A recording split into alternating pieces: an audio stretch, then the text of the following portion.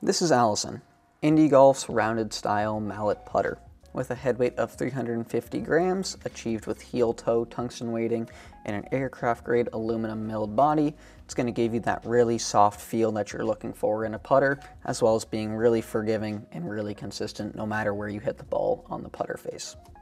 We have two alignment lines here. What that does for you is it helps you line the ball up in the center every single time.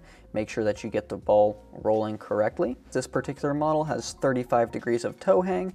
What that means is the Allison slant neck is perfect for players with a slight arc in their stroke. If you're looking for a more forgiving mallet putter, try out the Allison.